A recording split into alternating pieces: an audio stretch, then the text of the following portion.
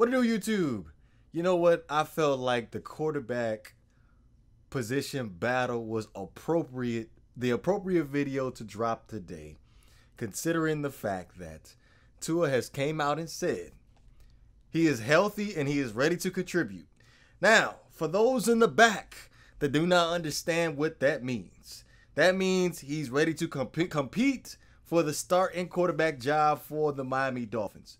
So all the excuses about everybody saying no to it, we want Tua to be 110% healthy before we, we throw him in there. You just heard him say it.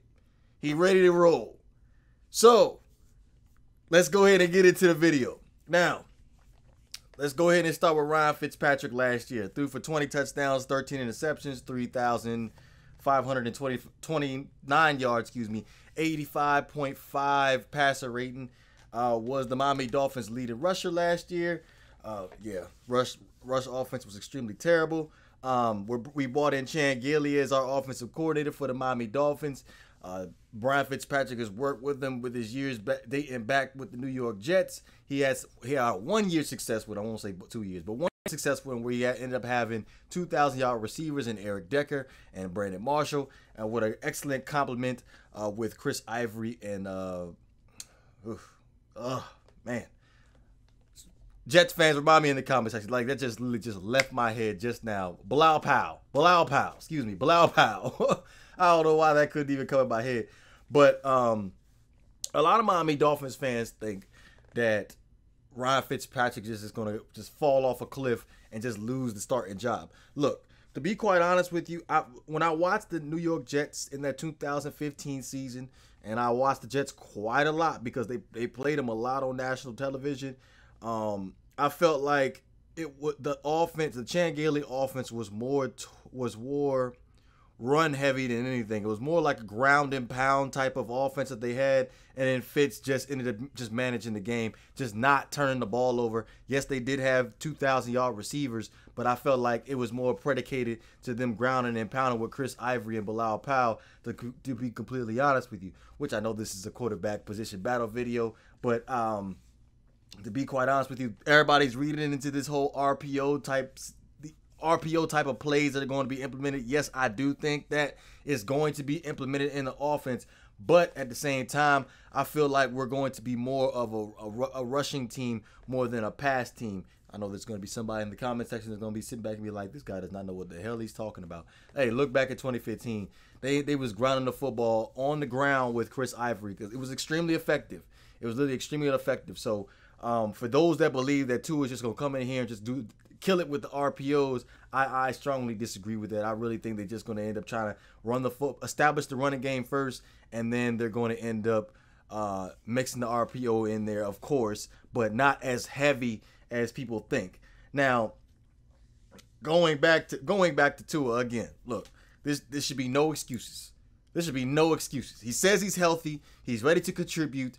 I'm going. I'm looking for an extremely competitive quarterback camp between the three quarterbacks. Yes, I did say three because I know the majority of y'all are just shipping shipping Josh Rosen out out in your minds. You're really shipping him out in your minds, and it's just not fair to him. To be completely honest with you, no, I'm not a fanboy. I I I'm calling a spade a spade. Okay, we went over this what a million times already when it comes down to Josh Rosen, got put in two bad situations, two terrible offensive lines, and y'all are just some some of y'all, I won't say all, some of y'all are just overlooking that and just be like, okay, he's an inaccurate quarterback. He's not mobile. What could he possibly do for the Miami Dolphins? I wouldn't exactly say Tua is the most mobile quarterback either, but if for some reason y'all have him as the favorite, understandable. He's the sexy, he's the sexy new guy in the building. But I would not count Josh Rosen out to be quite honest with you. I feel like Josh Rosen has a fairly good chance of ending up um, making some noise during the course of training camp, even though there's not going to be any preseason. So it's going to be the best man wins during the course of training camp. Not really sure how the whole reps thing is going to end up going as far as the quarterbacks are concerned, but I guess we will find out in the near future. But uh, going back to Josh Rosen, to be completely honest with you, the reports that came out about Chad O'Shea last year, the reports that came out about Chad O'Shea last year about Josh Rosen unable to to get the offense down, um, it gives you a brand new it sheds a, it sheds a brand new light and uh, puts a brand new perspective on Josh Rosen because I feel like the Chan Gailey offense, I think he would thrive in this offense. I feel like I feel like with a clean pocket, Josh Rosen could be extremely accurate, and that's another thing. We had the we had the offensive line battle a couple days ago. Um, that's going to be a huge question mark. So with that being said, don't if if if Tua struggles out the gate, I'm not being negative, Rhinos. I'm not being negative. I'm just being complete 100. I want to cover all points, all things considered. If the offensive line struggles, I don't want to hear nothing about the offensive line. I don't want to hear nothing about the offensive line because I've sat here and I've read the comments about what Ryan Tannehill was playing behind this terrible offensive line. I sat here and I've listened to what people have said about Jay Cutler behind this terrible offensive line, Matt Moore behind this terrible offensive line, Josh Rosen last year, and the 2018 season with even worse offensive line, and Ryan Fitzpatrick now.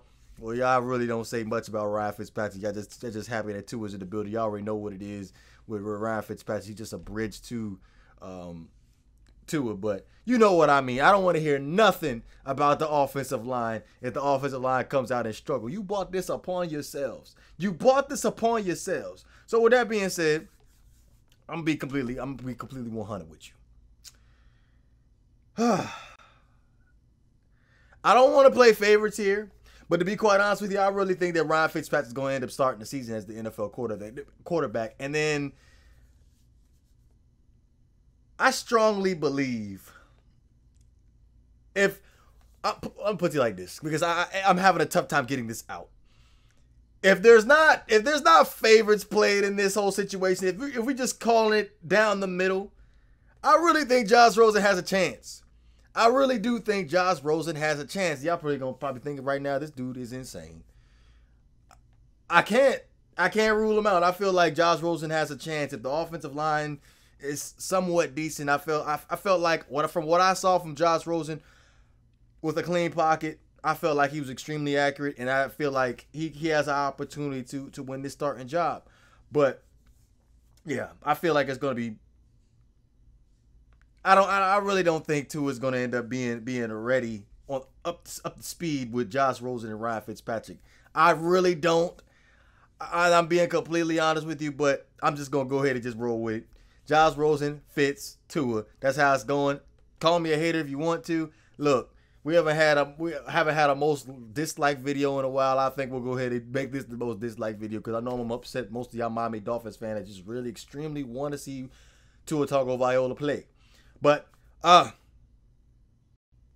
let me know what you guys think. You know what it is. If you enjoy the content, please don't forget to hit that like and subscribe button. This is Great One DeVore. I'm up out of here.